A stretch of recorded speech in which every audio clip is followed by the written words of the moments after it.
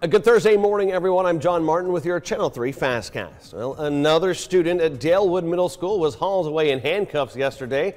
A resource officer at Dalewood Middle School uncovered a handgun while trying to arrest that student for burglary. The Hamilton County Sheriff's Office could not tell us whether or not the gun was loaded. This is the second arrest at the school in just two weeks.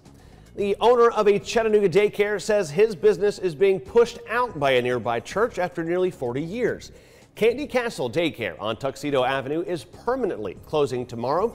This news comes two months after a teacher was fired for hitting a child with a ruler.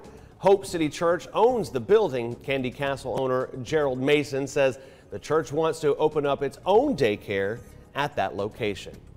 And commissioners think they may have a solution to Hamilton County's sewage plant problem. The commission is thinking about merging its wastewater treatment operations with the city of Chattanooga.